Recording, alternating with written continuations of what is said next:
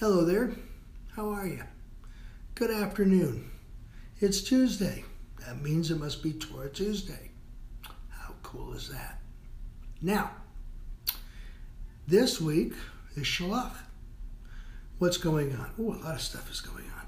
I want to tell you a story, another story. I like telling stories. All right? Let's tell me what you think of this story.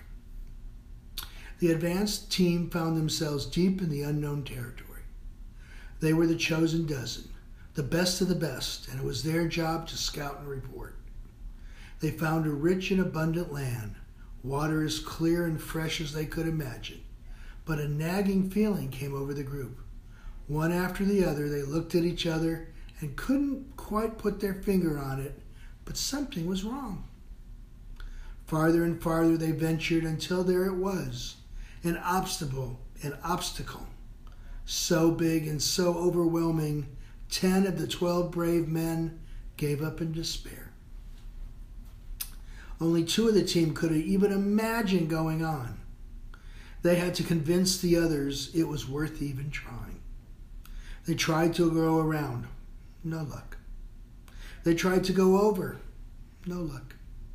Could they force their way through? No, force wouldn't work either. Hundreds of thousands of people counted on their success. Failure simply wasn't an option.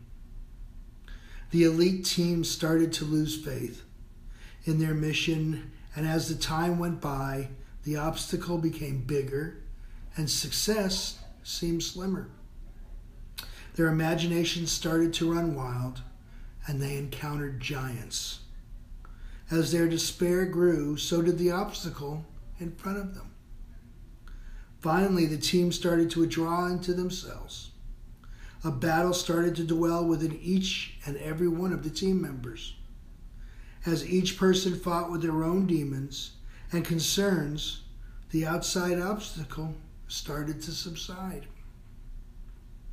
As each team member gained control or perspective of themselves, it became obvious to the team that they not only could proceed, but conquer the obstacle in front of them.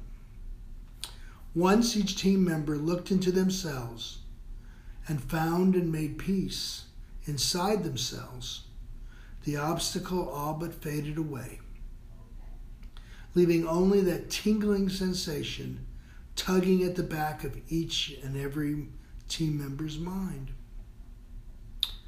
Did God really need the elite 12 to scout out the land of Canaan? Why didn't God just give the children of Israel the land? Why make them wait another whole generation? Difficult questions, but one very simple answer. God wants us, no, God requires us to think for ourselves. We are not mindless pawns. We have to feed ourselves physically and spiritually. We cannot depend on someone else to tend to all our needs. Just like the children of Israel wandering the desert for generations, we have to choose responsible leaders. We have to think for ourselves and make our own decisions. Then we will be worthy of what God has given us. Thanks for watching. Thanks for listening. Like always, keep those comments and likes coming. And if there's anything I can do for you, just give me a holler. Otherwise, I'll see you next week, Torah Tuesday. Hey, have a good one.